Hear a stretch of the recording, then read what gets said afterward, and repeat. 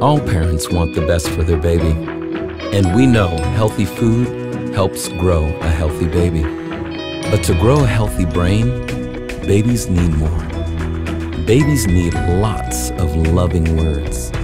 A baby's brain grows super fast.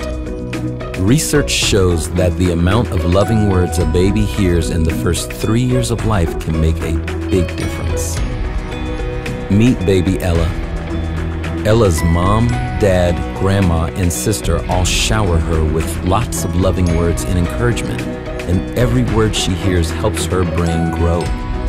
By talking, reading, and singing with Ella, everyone is helping her develop an essential life skill the ability to read by third grade.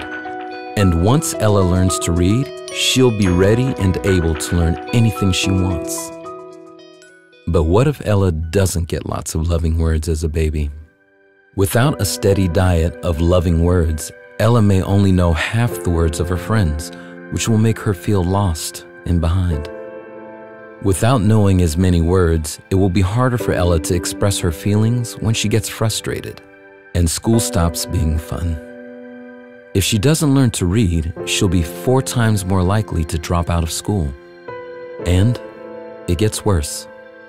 Kids who don't finish high school are more likely to have poor health, become a teen parent, be unemployed, and end up in jail.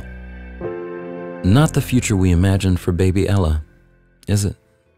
That's why it's so, so important for families, friends, and caregivers to talk with their babies early and often. The best part?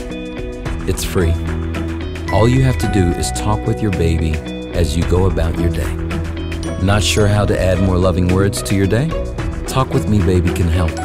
On talkwithmebaby.org, parents, families, caregivers, and friends can learn more about early brain development, download resources, and sign up for daily texts with tips, video examples, and reminders to talk with your baby.